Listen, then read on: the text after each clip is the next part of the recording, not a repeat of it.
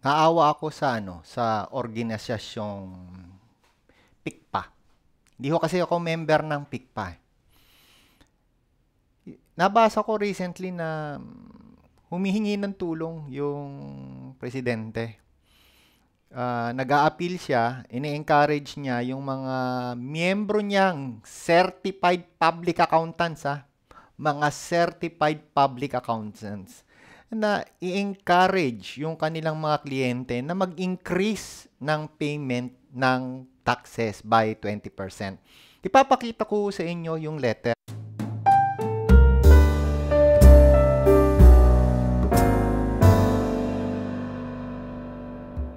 Awang-awa ako, sir. Awang-awa ako. Kasi bakit ka mag-a-appeal? Ang batas kasi, sir, ang nakasulat is capacity to pay.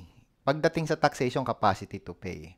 So, ang ibabayad mo lang, sir, ang ibig sabihin ng capacity to pay, ilagay mo to sa isip mo. Oo, makinig ka. Ilagay mo to sa isip mo. Kung ano lang ang utang mo sa BIR o dapat mong bayaran, yun lang ang babayaran. Sabi nga ng Supreme Court, huwag kang magbayad ng sobra at huwag kang magbayad ng kulang. Yung tamang-tama lang. So kung mag increase ka at hindi naman ta kailangan mag-increase, ang tawag doon donation. Ha?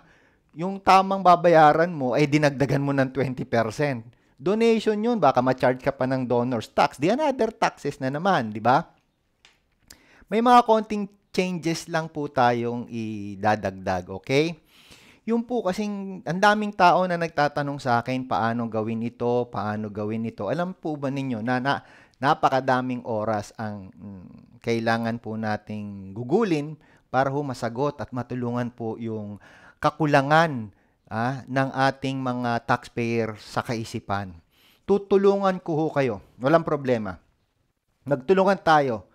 Maging miyembro ho kayo ng patreon.com slash Emelino T. So may mga category o level ho yan. At yung mga sensitive information ho, na kailangan nyo, of course, nasa may medyo mataas na level yan. Doon ho kayo mag-enroll. Tulungan ninyo ako, tutulungan ko ho kayo. Wala hong problema doon. Mas matipid po yun kaysa kukunin nyo ako personally. Ang ganda ng t-shirt ko ha. Gawa ho yan ni Tata. Tata Almosa. Taga Tacloban ho siya. Tacloban.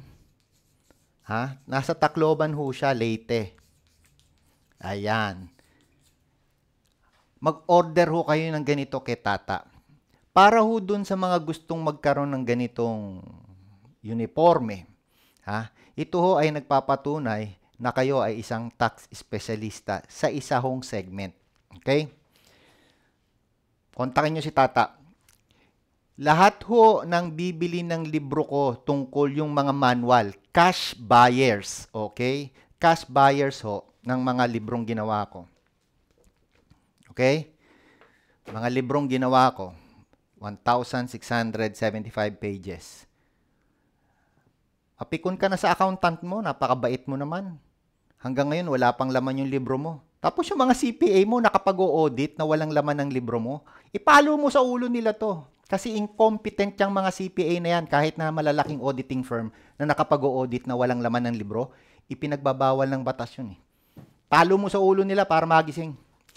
Ah, ang susunod kong topic eh yung hong tungkol ho sa panalo natin. Nanalo na po tayo mga kasama. Ha? Dinismiss na po ng korte, Court of Tax Appeal, yung kaso na chinard sa akin ng BIR. So, i-discuss ko yun sa susunod na video. Eh, itong video na to ay pagkikipagsimpatya ko lang ho dito sa mga opisyal ng PICPA, Philippine Institute of Certified Public Accountant, na mukhang ang mga miyembro ho na naa-attract ay mga korap. Kawawa naman ano. So, kung korap yan, edi tanggalin nyo na, sir. Para naman gumanda-ganda ho yung PICPA. Gumanda-ganda. Pag korap ho kasi mga miyembro nyo, eh wala hong pupuntahan ng PICPA. Okay? At i-discuss ko rin yung mga natatax mapping at saka may mga BIR open cases. Ayaw kayong parisibuhan ng BIR. nag-apply kayo ng resibo, nagta-transfer kayo sa mga iba-ibang lugar, itina-transfer mo yung inyong uh, head office o branches, ayaw kayong bigyan ng permit, i-discuss ko ho yan. Okay? Ang suggestion ko lang, ma'am and sir, pag may problema kayo sa BIR, may corruption, isumbong nyo sa amin. Andiyan po yung aking email address, andiyan din po yung telepono. Tawagan lang po ninyo yung aking mga staff. Sasagutin ho kayan. Mga honest po yan at yan po ay mga competent. O sige, tatapusin muna natin to dahil gusto ko panoorin mo yung susunod na video nakakabit dito ha. Very important yun eh. Lalo na sa mga accountants, bookkeepers at consultant. Okay na tayo. Panoorin mo na! May pagkakataon ka na. May pagkakataon ka na. As for these packages. Okay? Ganito kasi yan eh. Kapag bumili ka sa akin ng libro, or na-train kita, ibebenta kita. Dito kita ibebenta sa tax mapping apps. Nakikita ba ninyo? Yung mga kulay blue na nakita nyo dyan, mga tao yon mga right now mga accredited sila pero pipiliin ko pa sila eh. Ayan, sa buong ano yan, buong Metro Manila and nearby provinces. So, pag pinindot mo ito, lalabas yung service. Ayan. VAT, income, at saka withholding tax. Bookkeeping yan. Pag ito naman kulay uh, green, letter of authority, SDT, BMB, benchmarking, tax mapping, Oplan Candado, LN, letter notice. Ito naman, dilaw, tungkol sa assessment. And of course, yung kulay pula ay tungkol po sa koleksyon na ng buwis. So dito, para tayong mga grab ha, na immediately, pag may problema yung mga taxpayer, ito po yung apps na kukunin nila.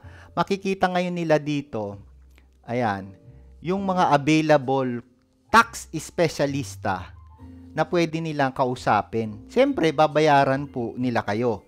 Ganun po ang mangyayari.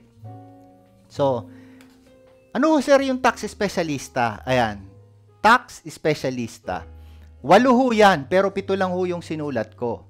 Yung pangwalo ay yung tax bookkeeping specialista. Siguro later on, magbibigay ako ng lecture about tax bookkeeping at saka ano pagkakaiba nito sa financial bookkeeping and uh, managerial bookkeeping. Paliwanag ko lang ito. Yung una is BIR tax mapping.